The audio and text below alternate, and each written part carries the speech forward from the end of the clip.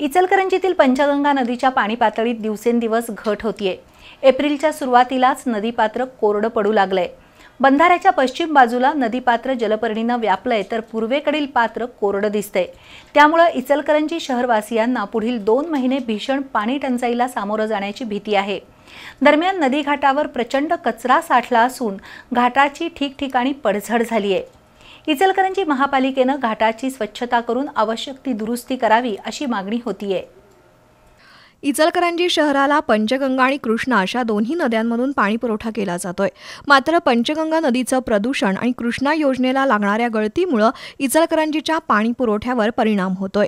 ऐन उन्हाळ्यात तर चार पाच दिवसातून एकदा पाणीपुरवठा होत असल्यानं नागरिक वैतागले आहेत.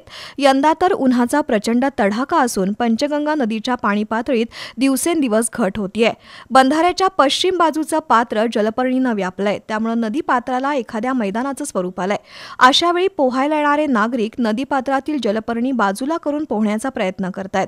तर पूर्व बाजूचं पात्र हळूहळू कोरडं पडू लागल्यानं इचलकरंजीकरांना तीव्र पाणी टंचाईला सामोरं जावं लागण्याची भीती आहे. पुढील दोन महिने कसे जाणार याची चिंता आत्तापासून लागून राहिली आहे. दरम्यान पंचगंगा नदी घाटावर मोठ्या प्रमाणात कचरा साचला असून घाटाची पडझड झाली आहे त्यामुळे महापालिकेनं घाटाची स्वच्छता करून आवश्यक ती दुरुस्ती करावी अशी मागणी होतीये.